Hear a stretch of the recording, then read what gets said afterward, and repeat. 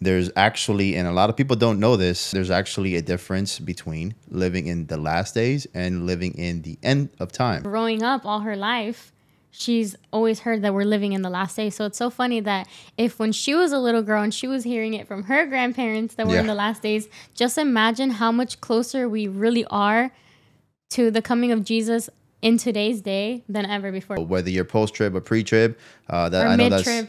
There's mid trib. Oh, that's okay. That's debatable. Hello, everyone. Welcome to a Day is Coming podcast. My name is Daniel. And my name is Jossie, and today is episode number nine.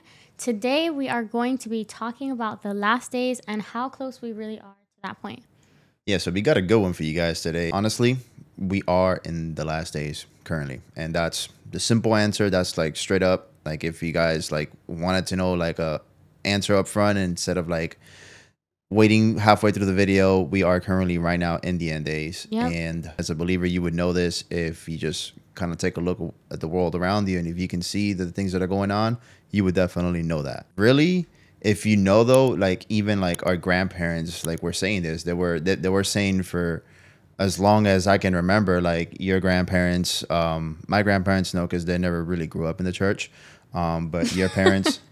Yeah, my grandma. I'm just laughing because my grandma, um, she's oh, she's always said since I was a little girl, she's always said that we're living in the end days, that we're living in the last days, and she said that growing up all her life, she's always heard that we're living in the last days. So it's so funny that if when she was a little girl and she was hearing it from her grandparents that we're in the last days, just imagine how much closer we really are to the coming of Jesus in today's day than ever before. Because if we were in the last days when she was a little kid, then we're definitely much closer to the return of Jesus I know, than it's- ever before. it's like it's like everybody's just like like in their in their lifetime everybody has been like everybody has grown up in the church and you know and obviously knows these things everybody has said the same thing at one point in time in their Yeah. life that wow like all the things going on in their lifetime wow we really are in the end days Mm-hmm. and we are currently saying the same thing as well right now you know we're we're currently living in, in the end days in the last days and uh, there's actually a bit of a fun fact here and the thing is that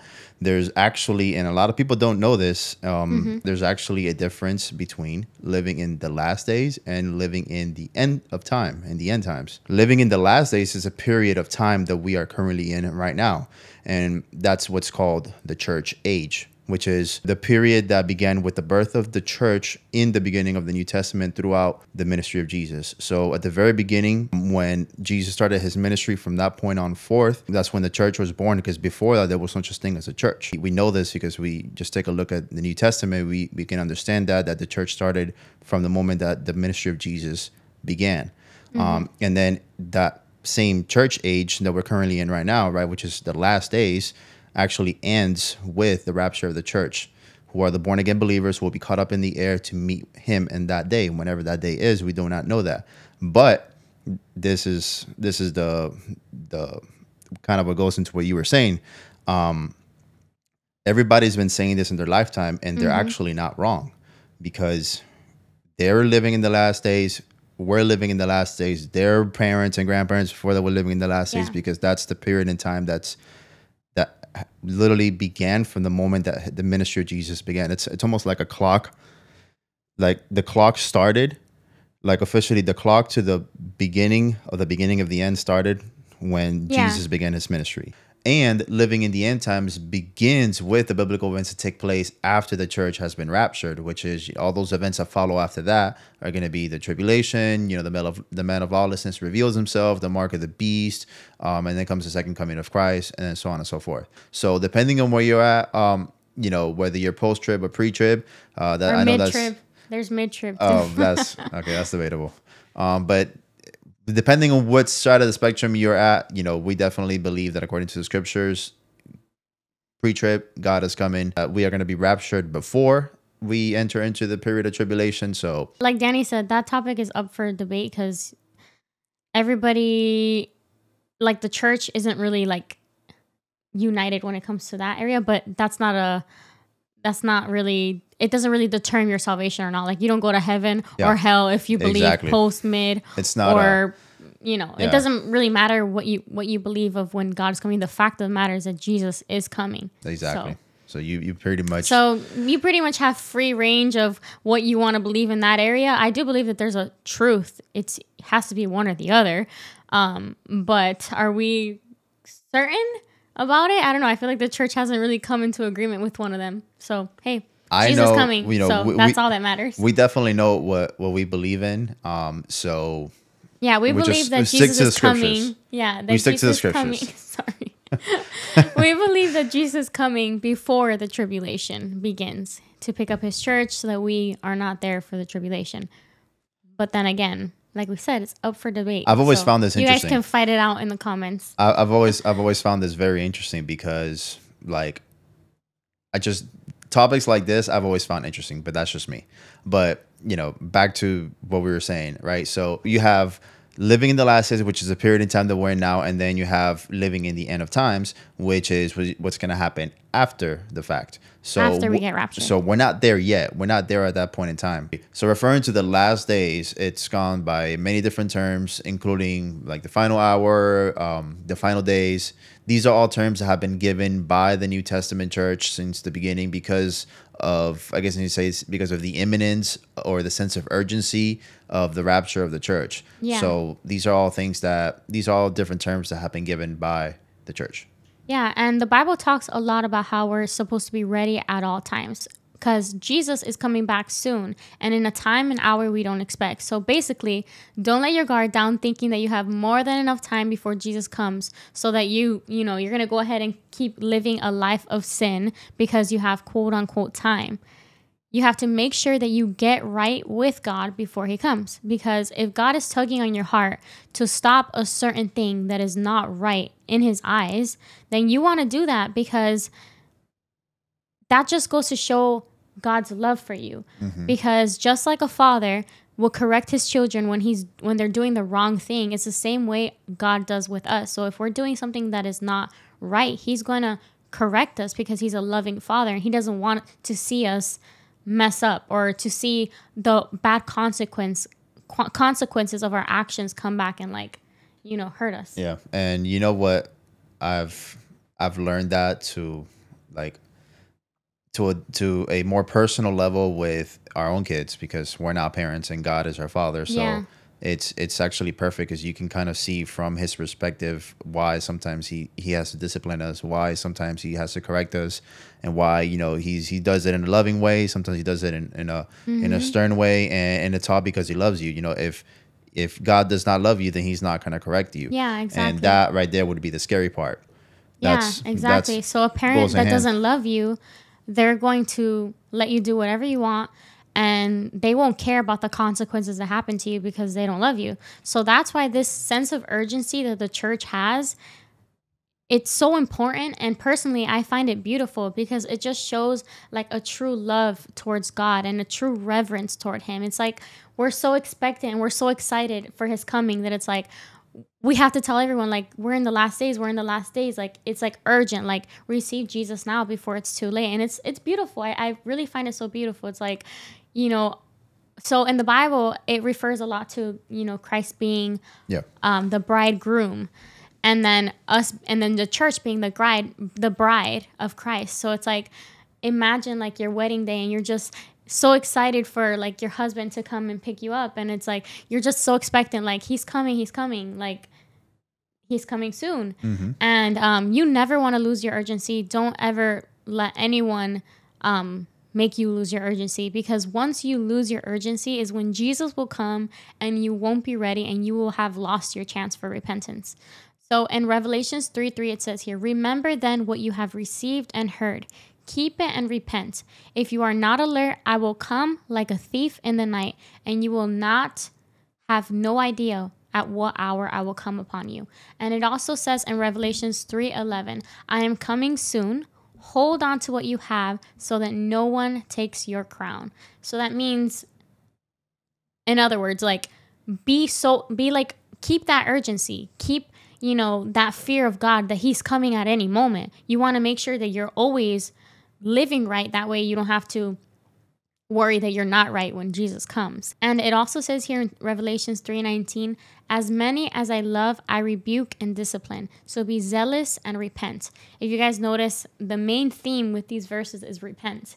I mm-hmm. feel like God is trying to get this message out there to the church, to everyone, that you need to repent in order to go to heaven. You need to repent in order to be right with Him when He comes. Because if you don't repent, then then you you still have that you, you're still accountable for that sin. You know what i'm saying? Because when you repent yeah. and when you lay it out on on the feet of christ then he washes you clean with his blood. But if you don't repent then you're gonna have to you know give an account for for all of that. Yeah that's true. So and it also says here in revelation 16 15 look i am coming like a thief Blessed is the one who is alert and remains clothed, so that he may not go around naked and people see his shame.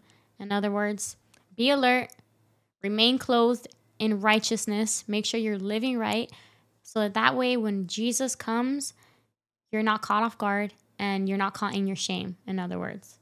Yeah, that's crazy. Yeah, it's good. That's good. That was good. Um, and and kind of kind of going a, a, little bit in hand with what you were saying, um, the Bible actually even tells us that there are signs that we will know as the church that we are currently right now in the last days. Um, in Second Timothy, it says in chapter three, verses one through five, it says, and I'll read it. It says, "But understand this: that in the last days there will come a times there will come times of difficulty. People will be lovers of self, lovers of money, proud, arrogant, abusive, disobedient to their parents." Ungrateful, unholy, heartless, unappeasable, slanderous, without self control, brutal, not loving good. They're treacherous, reckless, swollen with conceit, lovers of pleasures rather than lovers of God, having an appearance of godliness but denying its power. Avoid such people.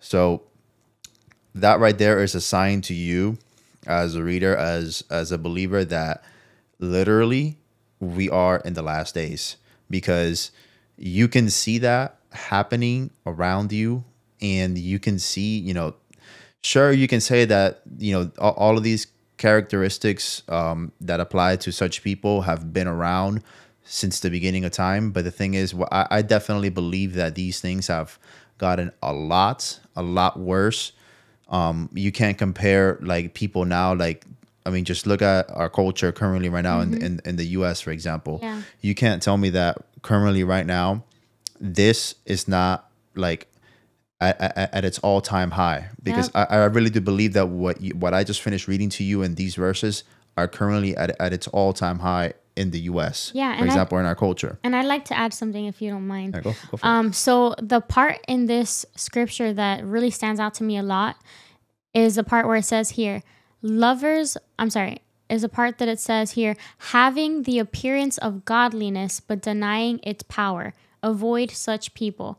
I feel like that's a specific warning that God's giving the church, the body of Christ. So, my pastor is always preaching about a church that, you know, if you're in a church that's not on fire for God, to run, like avoid it at all costs because the time is so short, time is so fragile. Jesus yep. is coming at any moment and we need to be living um, ready and, and right. And you don't have time to waste being in a church that isn't on fire for God and doesn't believe the fullness of the gospel, the fullness of the power that comes with receiving Jesus Christ as your Lord and Savior, getting baptized by the Holy Spirit in fire, which, you know, power comes with that. So you don't want to be in a church that has the appearance of holiness and everything.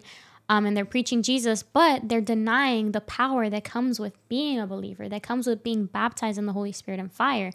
Um, so I felt like I just needed to say that because we're living in the last days.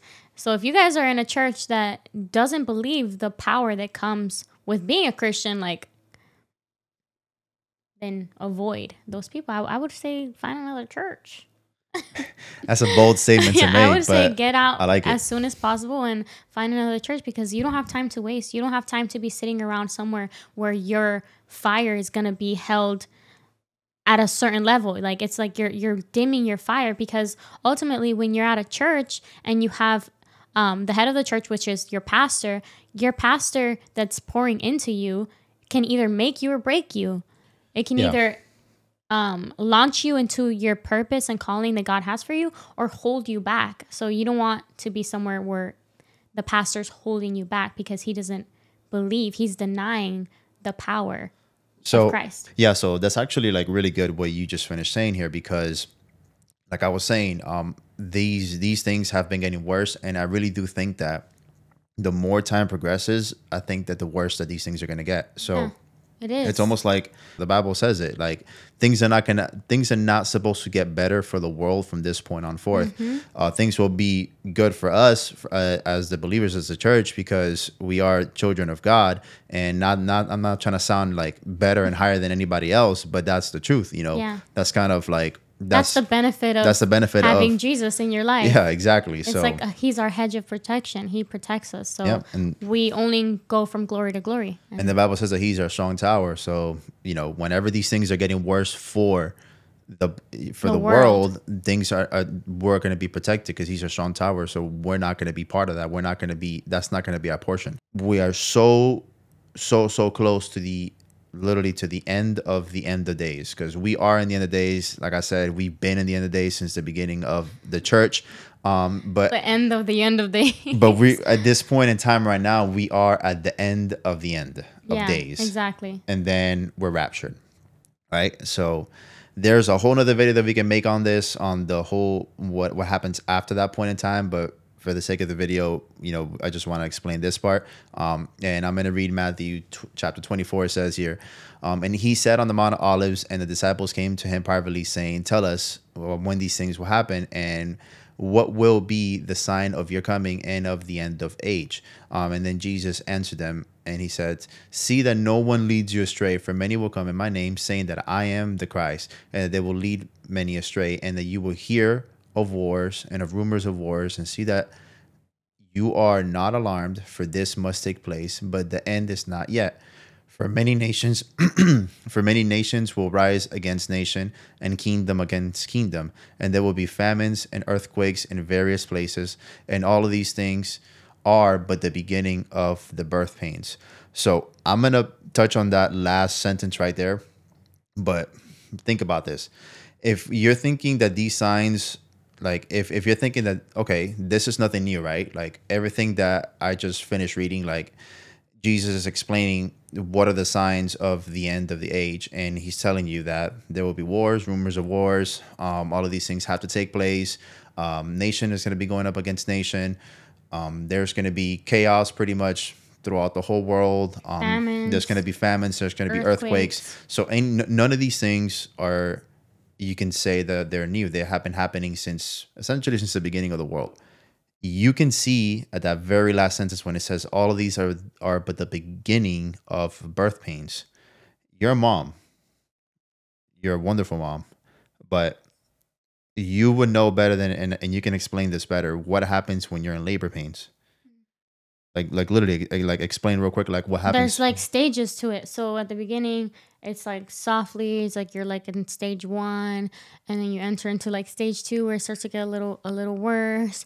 And you enter to stage three. I think there's like four stages. I don't I don't remember, but there's stages to it. And the closer you get to the birth, the the labor pains are like crazy Exactly. strong and hard and horrible and Exactly. painful. Mm. and then but what happens with the intensity it intensifies so when you right when Mm-hmm. Yeah, when you've course. had like one or two contractions then you were having now towards the end you're having a back course. to back to start back to Yeah, back the contraction starts to get closer and closer together. exactly so right there like if you think okay all of these things that i just finished like reading that all of these things have been happening since the beginning of time and, and they essentially have but the sign that you're gonna that you're going to get and the sign that he's specifically talking about is is how things are going to be getting worse all of these things that are going to be happening are going to be getting worse towards the end and that you're going to see these things repeat themselves a lot more frequently towards the end. If you look back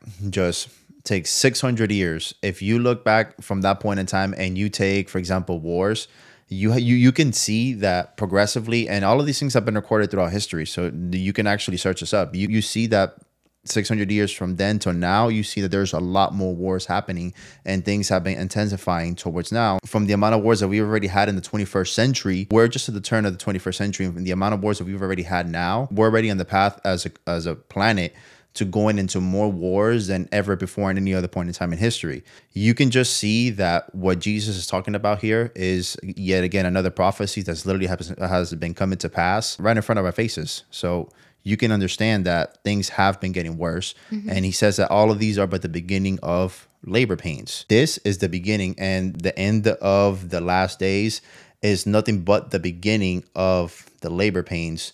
Um, and it's eventually going to lead up to the tribulation. But no one knows the hour of the day. The Bible's clear on this when it is that at, at whatever point in time that is that we are going to be raptured up in, into the air. That's going to mark the end of the end of days. Um, but at this point in time, we're just we we as Christians, we just should be living our our lives obviously not in fear. The point of this video is not to be, you know, to just throw fear at anybody because mm-hmm. that's not that's not how God moves. Uh, the point of this video is for us to let you guys know if you already did not know these things and, and show you guys, hey, like we are currently living in the end days um, and the end of days. And this is the point in time where if you have not already like straightened up your relationship with God, yeah. this is the point where you do. The point of this video is to let you guys know that there the sense of urgency that there is in the time that we're living in. And even though, um, like I said, nobody's gonna know that day, but it can happen at any point in time. So it's just a matter of time before it does happen. So why not get your relationship with God and, and everything and all your affairs straightened up? Um, and then live your life in accordance to how the word says so that way you can be ready and you can be blameless whenever god returns back for his church so that's that's the point that's the point that um and that we're trying to make here yeah, is good. that there is a very big urgency in the time and people are either sleeping or people are just are, are just passively going by their their you know their everyday lives and they just don't care. Because they think they have time. Um they think that there's time and, and or, or, simply they're just too preoccupied in their in their everyday lives. They're too preoccupied with the things that they want to accomplish and do and and you never know and their priorities may not be straightened out they may have god at the the very last of the list and they mm-hmm. probably don't even have god in the list whatsoever yeah. so that's that's what we're telling you guys these things and if you are even if you don't believe in god and you just stumbled upon this video we're letting you guys know that there is a sense of urgency here um you can see like you may not understand the bible but you can see the day and age that we're living in now. You can see the things that are happening now, and we're telling you what the Bible says that it has already predicted these things as a sign to you so that you can realize wait a minute, these things have already been written in this book for a very long time now. Um, and they actually come into pass in front of my very eyes. Um, so this actually has to be true because there's literally way too many prophecies for it to even be considered a coincidence in the Bible. That have um, been fulfilled. That have been already fulfilled and that are currently being fulfilled. The chances of something of even just two or three prophecies being fulfilled that that Jesus already did in the Bible, the that number is literally astronomical. So just imagine the hundreds of prophecies that are already been fulfilled. So yes, we have been in the end of the end of days already for a long time now, but like I said, the rapture can happen literally in the blink of an eye. Yeah, and in Revelation 12 12, it tells us that terror will come on the earth and the sea, for the devil has come down to you in great anger, knowing that he has little time. So obviously, the time is going to, um, so obviously, as time progresses, things are going to continue to get worse on the earth. It's not going to get better. But that terror will only be felt by those who aren't abiding in God. Because in Acts 2:17 it says, and it shall come to pass in the last days, saith God, I will pour out my spirit upon all flesh, and your sons and daughters shall prophesy, and your young men shall see visions, and your old men shall dream dreams. So, this verse shows us a promise of revival before the rapture. So, I believe right now we're living in the biggest movement of the Holy Spirit ever in yep. ever in the history of man. And the reason being is because God is opening a door for his Holy Spirit to be outpoured on all flesh so that everyone can hear about Jesus before he comes. So that way mm-hmm. no one has an excuse. Oh, I, I never heard I never heard the gospel. I, I never heard about Jesus. No, everyone's going to have a chance to hear about Jesus and choose whether and choose whether to serve Jesus and follow him or follow the devil. Because if you don't accept Jesus into your heart, then you're going to be forced to serve the devil and do exactly what he is telling you to do. Yep. And God doesn't want that. He loves you so much that He sent His one and only begotten Son to die on that cross for your sins. So that if you just believe in Jesus Christ and you receive Him into your heart, that you would be saved and you would go to heaven. And it's crazy because we were just talking about how grandmas have been saying that it's the end of days for the longest. You know, it's been years and years and years and years and years that people have been saying it's the end of days. But that just shows the love and mercy God has for us. In Second Peter good. 3 9, it says, The Lord is not slow to fulfill his promise as some may count slowness, but is patient toward you, not wishing that any of you should perish, but that all should reach repentance. So God is literally taking his sweet time to send his son Jesus back to come pick up his church because he wants everyone to have had a chance to receive Jesus into their heart because he doesn't want no one to go to hell. He wants everyone to repent of their mm-hmm. sins and to serve him because God created us. Like he rightfully so wants us to just love him. Cause I mean, he has all the right to want that. Cause like imagine you creating something and it you know, it's not it doesn't mm. want you. Like he created us for him. He loves us and he wants us to love him back. Um and it also says here in Second Corinthians 6 2, for he says, At an acceptable time I listened to you, and in that day of salvation I helped you. See, now is the acceptable time. Now is the day of salvation. So, in other words, if there's any day to give your life to Jesus, it's today. Today is the day of salvation. Don't wait until tomorrow because tomorrow's not guaranteed. But, anyways, we are living in the last days and stay ready and hold on to to that crown so no one takes it from you. We love you. Peace.